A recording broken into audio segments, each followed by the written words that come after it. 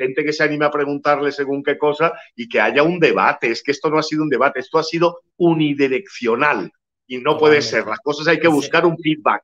No hay debate, ¿eh? claro. Una cosa y luego la otra.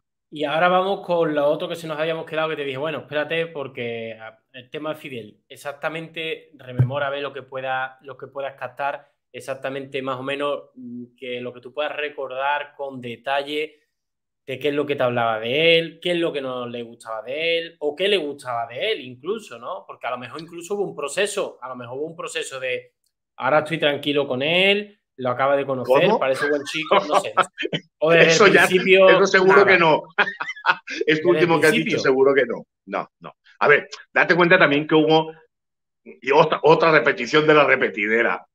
Ah, hubo un acontecimiento muy importante que fue un accidente de coche, que prácticamente pierde la vida Rocío Carrasco. Entonces, a ver, ¿quién iba, quién conducía ese coche? Pues Fidel, y a ver, eh, Pedro Carrasco estaba con su mujer, que era Raquel Mosquera. Y entonces Raquel Mosquera tenía su vida y Pedro su vida y sus negocios y tal, y no había una relación de comandita con Fidel, ni mucho menos, cuando saben que, bueno, que está aquí, que sale con Fidel y tal, y luego pasa lo del accidente. Ya es que este señor le echaron del hospital. le echaron del hospital.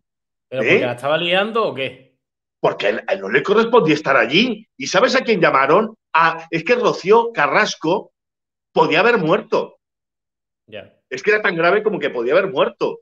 Y a quien llamaron. Que, que, al no estar casado, él no, no, podía Pero a ver qué pintaba en ese momento en la vida, digamos, general de Rocío. Eran novios.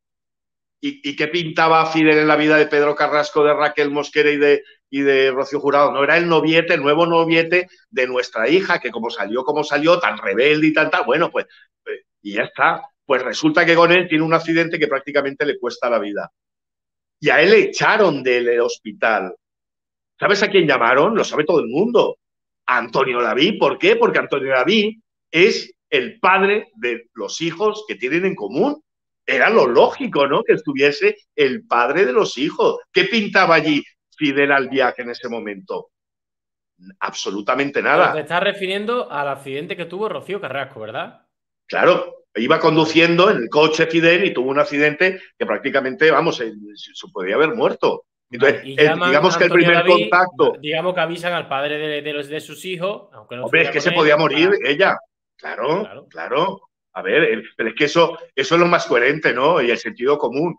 Estamos en, una, en, unos, en unas fechas, en unas épocas que ya el sentido común no, no, vale para nada y vale lo esperpéntico, pero a ver, lo hubieras hecho tú o cualquiera de, de todos ustedes que nos están viendo allí, ¿no? Exactamente lo mismo. O sea, de Fidel no tenía una buenísima imagen.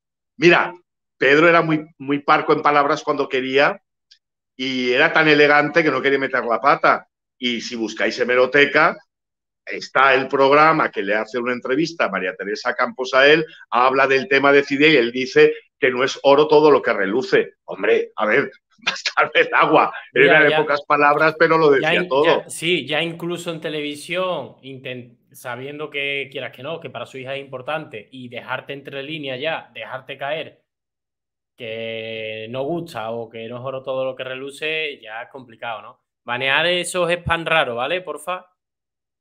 Sí, continúa, continúa. No, dime, dime.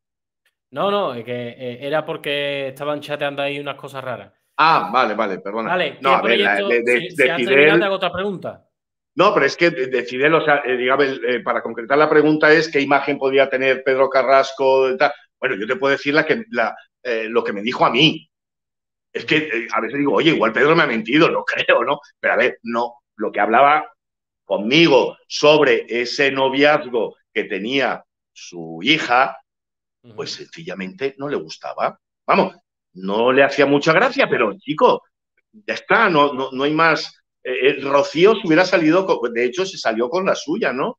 Que incluso creo que este hombre, em, creo que fue el detonante para que su hija se apartara tanto de su padre como, como de esa eh, relación un poco de compromiso, lo podemos llamar así con Raquel, no fueron íntimas amigas ni nada, sino que era, pues, bueno, Raquel muy educada, su padre quería tener buena relación con, con, con, lo que era su mujer y su hija, pero no había más. Vale, no sé si me entiendes. Sí, sí, totalmente. Fidel no era una, digamos, una persona que entusiasmara. Es que, la gente quedó más fino a esa familia. La gente, la gente cuando se conoce, ¿no? Y de forma más íntima, personal, vis a vis, al final tú ves la persona y ves que te están cambiando tu hija y ves ciertas cosas, ves, ciertos detalles. No, pero química con Pedro Carrasco y Fidel Albiac te aseguro que no había, vamos, absolutamente nada. De química cero. Y tampoco, tampoco le gustaba el boxeo a Fidel, ¿no? Ah, eso yo no lo sé, porque no tengo ni idea si le gusta o no. ¿Sabes? Pero ¿sabes por qué? Porque me la el pairo este hombre, que no, no. Además, me parece un, ser de verdad, como en las, en las, tinieblas siempre, ¿no? No, no, lo sé, oye, pues igual... no sé si alguna vez, no sé si alguna vez Pedro le dijo, oye, yo ya estoy mayor, pero cuando quiera hacemos guante, no sé, no sé si se lo propuso. no lo sé, no lo sé.